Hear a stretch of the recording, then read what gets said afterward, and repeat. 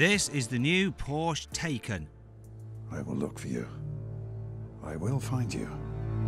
No, no, no, not that Taken. Calm down, Liam. It's actually T A Y C A N, which is pronounced Taycan. It's Porsche's all new, all electric, 761 horsepower Tesla P100D beater. And here are the Car Wow top 10 things you need to know about it. Porsche's played it safe with the Taycan styling. In fact, you could easily mistake it for a Panamera from some angles in certain photos. However, in the metal, it appears lower and sleeker. Obvious differences include those LED headlights that seem to have been carved into the car's nose, the flush fitting door handles, and, most obvious of all, the lack of exhaust pipes. The net result is a car with an aerodynamic CD value of 0.22. That means it cuts through the air more efficiently than a Porsche 911 sports car. The question is, of course, would you choose the Porsche Taycan over the Tesla Model S P100D? Click on the top right hand corner of the screen to cast your vote. The Porsche Taycan will initially be offered as two models, the Turbo and the Turbo S, neither of which actually have turbos because it's electric. So it's just a turbo badge then. I mean, come on, Porsche. You can do better than that, surely. Later on, though, we can expect a cheaper two wheel drive model and a Taycan Cross Turismo. That's the sporty estate model, and it's due by the end of 2020. All of which could mean the party is well and truly over for Tesla, though I doubt it really. Let's put it this way the Taycan is not cheap. The entry level 680 horsepower turbo costs at least £116,000, and that's before you've even glanced at the options list. The 761 horsepower Turbo S version of the Taycan starts from nearly £139,000. Get your name down for a Taycan and you can expect it to be delivered in January. Though, will you even bother if you can have a top of the range Tesla Model S for less than £90,000? Seems that some people have. Porsche's apparently taken almost 30,000 orders on the Taycan even before it was even unveiled. Anyway, to see how much you can save on a more normal car, click on the pop out band in the top right hand corner of the screen to go to Car Wow to see the best offers from our trusted dealers.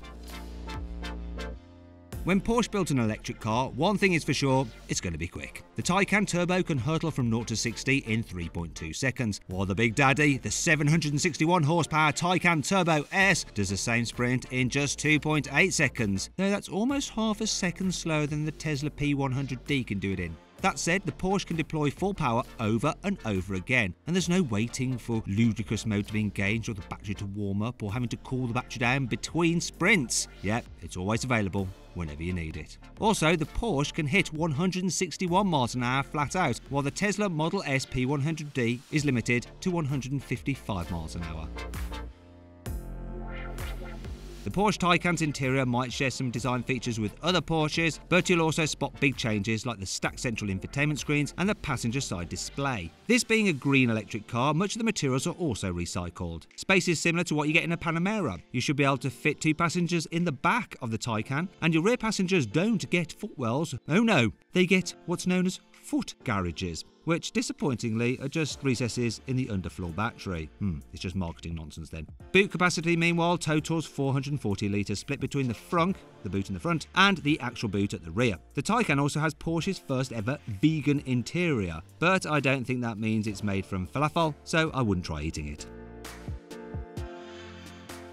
The Taycan Turbo has a claimed range of 279 miles, while the more powerful Turbo S can go 257 miles, though a Tesla Model S long range can do 370 miles between charges. Oh. However, the Taycan is the first production car with an 800 volt electrical system. That's double the capacity of most electric cars. This means you can get 62 miles of range in just over 5 minutes of charge time, although you do need to find a 270 kilowatt charging station to do that, and there aren't any of those in the UK. Still, with a 50 kilowatt fast charger, you can charge the car's battery from 5% to 80% in 90 minutes, which isn't too bad.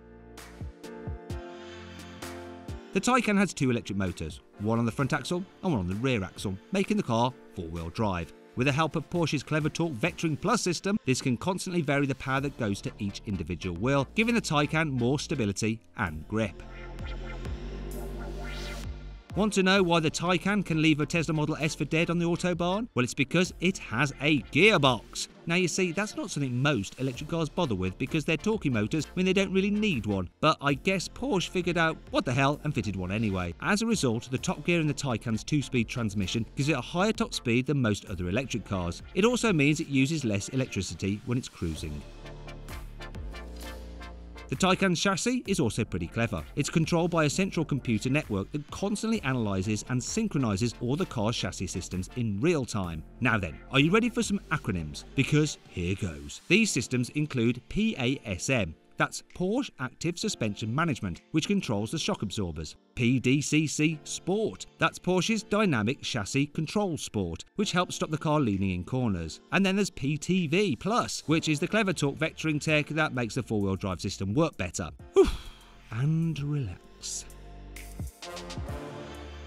As you'd expect from a Porsche, the Taycan's brakes are more than a match for its straight line performance. Choose the Turbo S model and you get huge 10 piston front calipers that grip standard fit carbon ceramic discs. The regular Taycan Turbo makes do with steel brakes, but even they get a ceramic coating to help them stand up to vigorous use. Not that you'll need to use them that often, because Porsche reckons for 90% of the time in everyday driving, stopping will be handled by the brake recuperation system fitted to the electric motors, which help top up the battery. Please subscribe to this channel for more videos, and if you click on the deals box to the right, you can see how much you can save on a new car at CarWow. Or click on the video windows below to watch another of my videos.